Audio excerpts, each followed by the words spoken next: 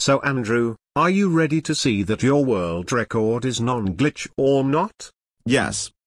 Okay then.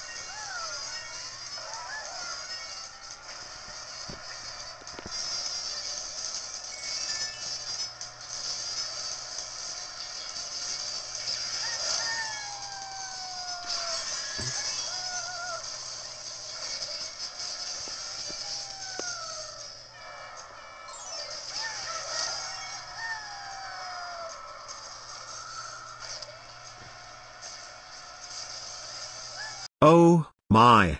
God Andrew. You glitched on laps 2 and 3. You cheated. I told you that if you wanted to beat the world record on DK Jungle, you couldn't glitch. At all. I'm going to call your parents about this. No, no, no, no, no, no, no, no, no, no, no, no, no, believe no, what no, your no, son did. no, no.